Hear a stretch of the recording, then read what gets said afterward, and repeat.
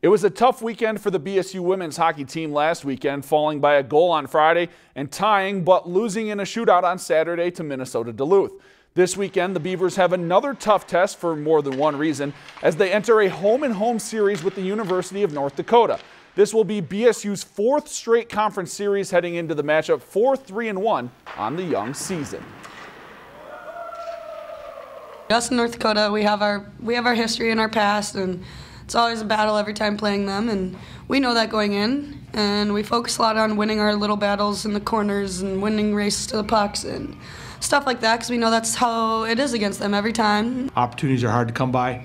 Uh, they play very similar to us in terms of the way they layer. They, they block a lot of shots, uh, so it'll it'll be a challenge to, to manufacture offense. But again, it's uh, you know we're, we're kind of into the into the grind now. It's uh, it's uh, another big weekend in terms of of, uh, points an opportunity to get points. So we're looking forward to Friday night and see what we can do.